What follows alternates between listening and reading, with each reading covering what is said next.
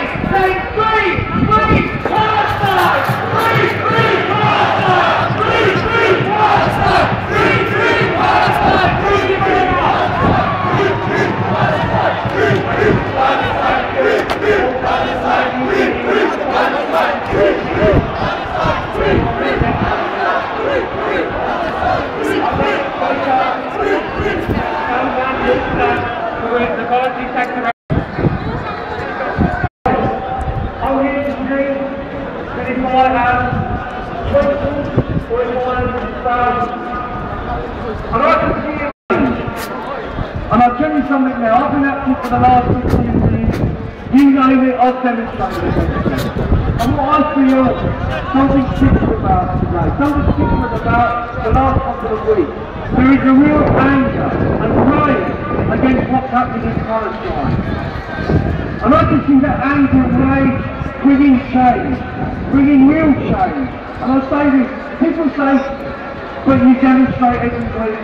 They can do. We're not going to change anything. I've been pushing nothing, I will guarantee. You. People fight back, you've got a chance of winning. The victory's the Palestine! We are hundreds, we are millions! We are all thousands! We are hundreds, we are millions! We are hundreds, we are millions!